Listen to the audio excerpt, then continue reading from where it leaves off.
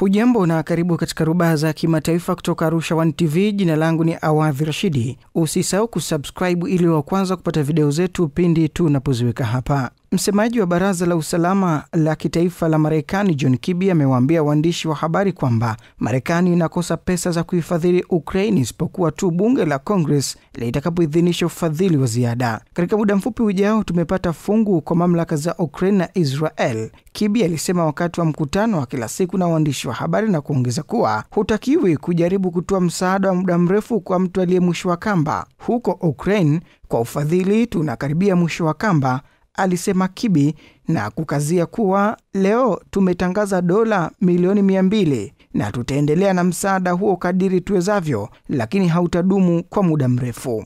Wanahabari walipotaka ufafanuzi zaidi wa kauli msaada hautadumu kwa muda mrefu ilikuwa ikimaanisha nini, Kibi alisema hawezi kutaja tarehe maalum ya kuisha msaada huo kwa sababu hiyo inategemea jinsi Ukraine na Israel zitakavyotumia haraka vifaa vyao na risasi au mahitaji mengine na uwezo wa Marekani ambao unaweza kufanya katika kuwasaidia. Siku ya Jumanne, msemaji wa Pentagon aliwahakikishia waandishi wa habari kwamba Marekani ina uwezo wa kuendeleza msaada kwa Ukraini na Israel na kudumisha utayari wake wa kimataifa. Kibi hata hivyo alikiri kwamba pesa zilizotengwa hapo awali kwa ajili ya Ukraine na Congress hazitadumu milele na kwamba wabunge walihitaji kuidhinisha zaidi. Hivi karibuni kutakuwa na spika wa bunge. Ni wazi ndivyo sote tutakavyokuwa na raha zaidi katika suala la kuweza kuunga mkono Israel na Ukraine, alisema. Baraza la Wakilishi la Marekani alijapata spika tangu hiyo Jumanne iliyopita, wakati Kevin McCarthy alipoangushwa katika kura ya bunge kwa madai ya makubaliano ya siri na ikulu ya White House kuidhinisha ufadhili zaidi kwa Ukraine. Warepublican kadhaa waliongoza mashtaka dhidi ya mwenzao huyo wa California, wakiungwa mkono na wachache kutoka chama cha Democratic. Chama cha Republican kinamtaka Steven Scalise kutoka Louisiana kurithi nafasi ya spika Kevin McCarthy ambaye amekuwa akiunga mkono ufadhili wa Ukraine tangu Februari mwaka 2022. Mzozo wa Urusi ulipozidi, Marekani ilipeleka msaada wa kijeshi wenye thamani ya karibu dola bilioni 44 kwa Ukraine pamoja na mabilioni zaidi ya fedha taslimu, misaada ya kibinadamu na kiuchumi. Na kwingineko ni kuwa rais wa Urusi Vladimir Putin amesema hali mbaya ya watu wa Palestina haiwezi kupuuzwa. Rais Putin amesema hayo siku moja tu baada ya mazungumzo yake na waziri mkuu wa Iraki muhamed Shia al Sudan. Waislamu katika Mashariki ya Kati na kwingineko kote duniani wanaona kile ambacho Wapalestina wamevumilia kwa miaka mingi kuwa dhuluma kubwa ambayo imezidishwa kupita imani.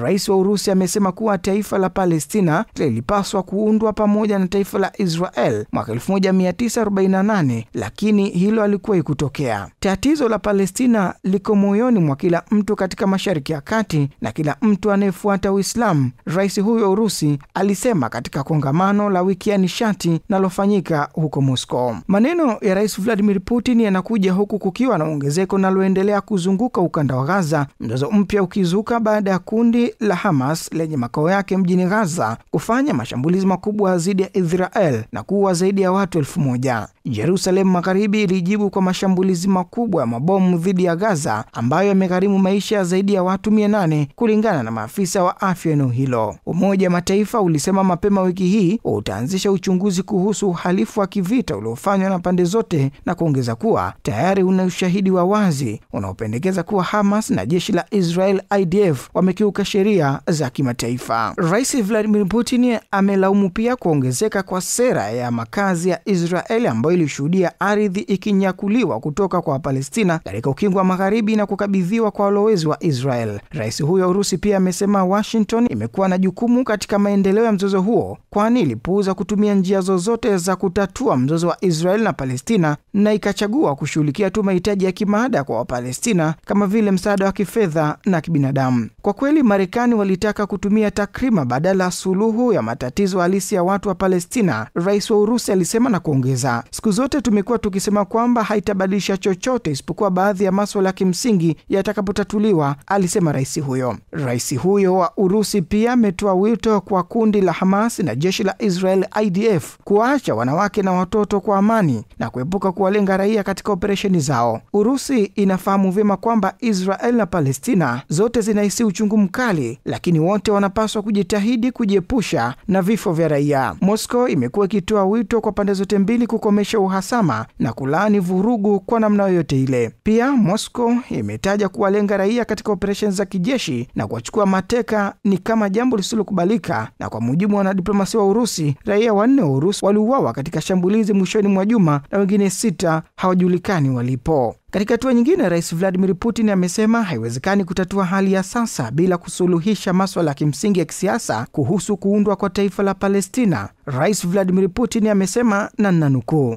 haiwezekani kusuluhisha hali hiyo bila kusuluhisha maswala ya kimsingi ya kisiasa, kwanza kabisa kuundwa kwa dola huru ya Palestina. Tatizo la Palestina liko moyoni mwa kila Mwislamu, linatambulika kama dhuluma iliyoinuliwa kwa kiwango cha ajabu, na katika Israel na Marekani wafuasi wa suluhisho la kijeshi wanapata ushindi. Wanaume wakiamua kupigana wenyewe kwa wenyewe, basi wapigane, wawaache watoto na wanawake peke yao. Tunahitaji kupunguza vifo vya raia. Kuna njia za suluhu kwa Palestina, lakini Marekani ilipuuza na kujaribu kubadilisha suluhisho la matatizo ya kimsingi na aina fulani za takrima na nyenzo. Iwapo hali hii itatulia katika siku za usoni, pengine ijulikani, kuna hatari kwamba mzozo huu utaenea zaidi ya Palestina, ambayo itakuwa na matokeo mabaya. Wakati hayo akijiri, kituo cha televisheni cha Iraki cha Al Sumairia kimeripoti kuwa waziri mkuu wa Israel Benjamin Netanyahu kwa muda mrefu amekuwa na mipango ya kuteka ukanda wa Gaza na kuwahamisha Wapalestina kwenye rasi ya Sinai nchini Misri. Kituo hicho kimenukuu rekodi ya rais wa zamani wa Misri Hosni Mubaraka ambaye alizungumza kuhusiana na suala hilo akiwa na waziri mkuu wa Israel Bibi Netanyahu. Netanyahu aliwahi kusema kwamba kuna ramani inayoonyesha ukanda wa Gaza na eneo karibu na mipaka yetu, na akaanza kushauriana ikiwa wakazi wa ukanda wa Gaza wangehamia rasi ya Sinai. Kituo cha televisheni kinamnukuu Mubarak akisema inaripotiwa kuwa rais wa zamani wa Misri alikataa ofa ya Netanyahu na kujibu, sahau si mimi wala yule anayekuja baada yangu atakayeweza kuacha eneo letu, Mubaraka alisema. Na kwingineko ni kuwa rais wa Uturuki Recep Tayyip Erdogan amesema kuwa kinachotokea Mashariki ya Kati kinaonekana zaidi kama mauaji ya laiki kuliko vita. Matumizi ya nguvu kupita kiasi dhidi ya ukanda wa Gaza bila uhalali wowote wa, wa kimaadili yanaweza kuiweka Israeli katika nafasi isiyofaa kabisa katika jukwaa la dunia. Mgogoro huu unaofanywa kwa njia za aibu si vita, bali ni mauaji ya watu wengi. Rais Erdogan alisema hayo wakati akihutubia bunge la Uturuki. Mwisho wa rubaa za kimataifa kutoka Arusha One TV. Jina langu ni Awadhi Rashidi.